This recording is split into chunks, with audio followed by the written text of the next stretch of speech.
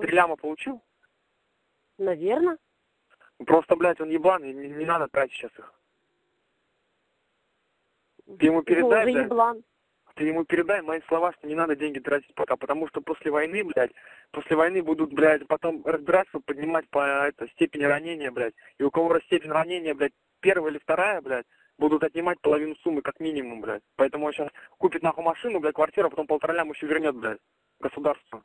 Это, блядь, ну, передай ему мои слова, это вести, блядь, из фронта, нахуй.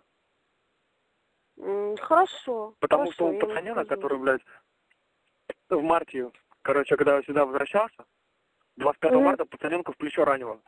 Ну, легко, блядь, осколком просто чуть-чуть. Его вывезли в госпиталь, короче, через пару дней, ну, через дней пять примерно, выплатили 3 миллиона, нахуй. А через, блядь, а, короче, в апреле, 29 апреля он вернулся сюда обратно. Ну, уже нормальный, типа, блядь, за- заживший. И у него эти 3 миллиона забрали, блядь. А у- Аргументируя тем, Потому что он, они- потому аргументи- что он вернулся. нет, потому что ранение легкое, блядь. Потому, поэтому забрали, сказали, что, блядь, ну, это не мешает, блядь, э, дальнейшему ведению боевых действий.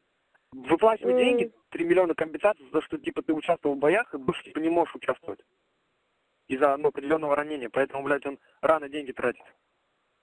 Хорошо, я ему сегодня передам, он напишет. Что, говорю, пацаненок приехал, у него тоже ранение было, у него забрали три ляма. Угу, хорошо. Я ему скажу. Там же в расчетнике, блядь, написано, что, блядь, не спешите тратить деньги. Бля, пускай нахуй тратит.